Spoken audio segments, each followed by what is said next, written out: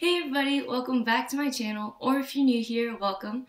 My name is Stella and I make videos talking about current technologies and tutorials on how we can use them. Today I'll be talking about what JavaScript is, why we use it, and the basics of running a JavaScript program. So let's get started.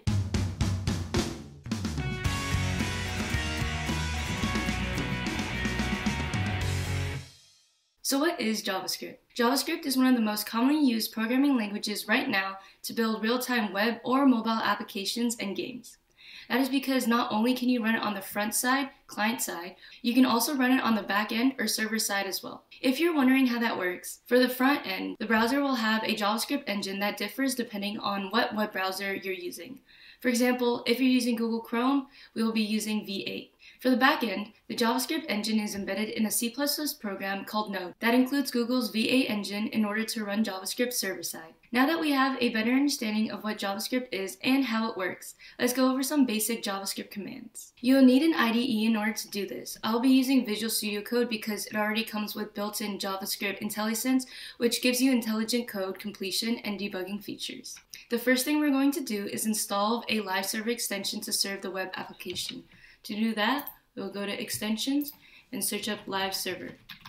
Once you have installed this live server, restart your Visual Studio Code. After your live server is installed, go into a folder of where you want to store your JavaScript file. Now that I'm in my folder, let's make an HTML file to make sure that our live server is working. So we will create a new file, hello world.html, and then we'll create a small HTML file, We'll add a header with a body and a heading of hello world. After we have saved our HTML file, we can go down to the Go Live button and click on it, and we can see that our web application is being served on port 5500. Now that we know our live server is working, we are ready to start implementing JavaScript. We can essentially put our JavaScript anywhere, in the header section or the body section. However, the best practice is to put it in the body section after all the HTML code. The only exception would be JavaScripts used for styling, then they would be put in the header section. To start your JavaScript, we'll create a script tag underneath our HTML code, and we'll do a simple print statement in the console by going console.log and then hello world. We're going to end the console log with a semicolon similar to Java. Then when we save this file and go to our live server, we'll left click and click on inspect then when we click on console, we can see that it has printed out hello world as well. To add comments in your JavaScript, we will do two double slashes, and then we can write any comment we want. Print out hello world.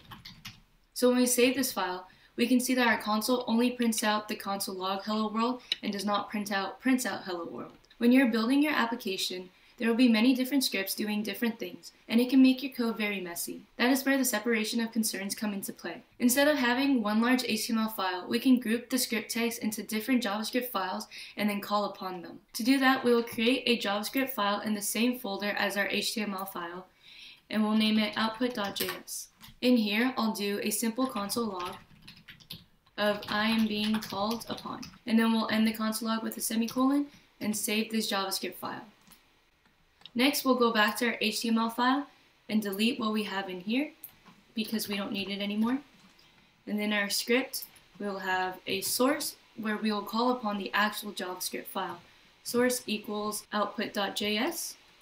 And then when we save this file, we can see that our console has changed and it is now I am being called upon.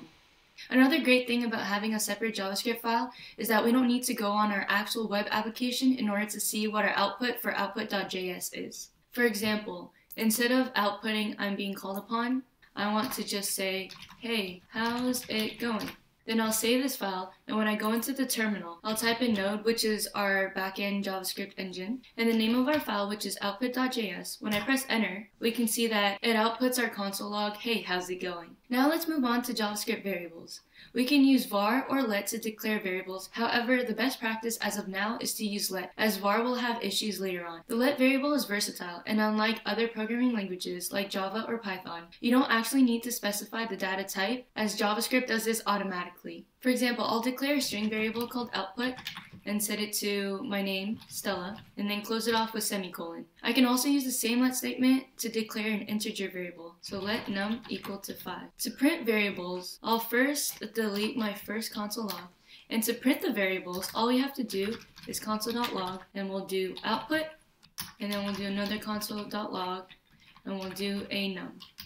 Now when we save this file and run it again, we can see that in our terminal our variables have been outputted. To concatenate variables and strings, all I need to do is add a plus sign, I'll add a space just for formatting purposes, and then num. So then when I save this and then run it again, we can see that my string has been concatenated with another string which is a blank space and as well as the number itself, Stella 5, and then we have our second console log 5. If we want to reassign our variable's value, all we need to do is type in the variable's name and then set it to something different, for example, 2. So when we save this and run this one more time, we can see that our number value has changed from 5 to 2. The opposite to a variable is a constant. For instance, let's clear all of this, and then let's set a constant, const, num equals to 5. Let's try changing the value of the constant. So num equals 2.